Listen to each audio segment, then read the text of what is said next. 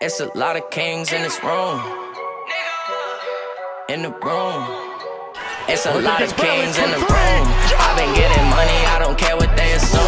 I've been going off like I don't got nothing to lose. We've been making hits since like 1992. I wasn't alive, but I still was making moves. Ahead of my time, I am not these